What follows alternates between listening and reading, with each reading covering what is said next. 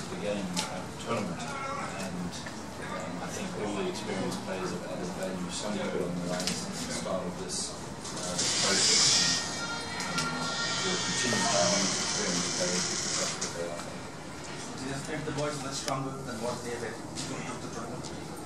Yeah, uh, again, the, the performance has improved, and I think tonight was, outside of the result, again, the strongest performance for us. So um, the, the, the road ahead is still aiming to get a performance and a result together and towards the latter part of the tournament.